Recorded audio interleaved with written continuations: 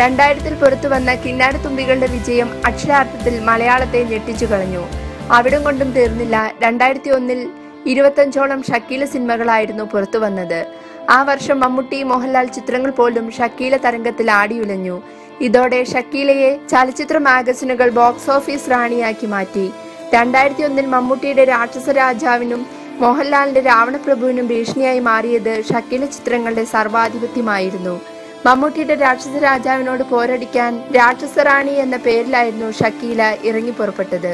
ഒടുവിൽ ഈ പേരിനെതിരെ മമ്മൂട്ടി തന്നെ രംഗത്തെത്തുകയായിരുന്നു രണ്ടായിരത്തി രണ്ടിൽ മലയാളത്തിലെ ഒരു പ്രമുഖ ചാനലിൽ ഷക്കീലയുടെ കിന്നാരത്തുമ്പികൾ സംപ്രേഷണം ചെയ്തപ്പോൾ രാവണപ്രഭുവിനും രാക്ഷസ രാജാവിനും ലഭിക്കാത്ത അത്രയും പരസ്യം ലഭിച്ചു. മാത്രമല്ല അരക്കോടിയിലേറെ ലാഭവും കിന്നാരത്തുമ്പികൾ സ്വന്തമാക്കി.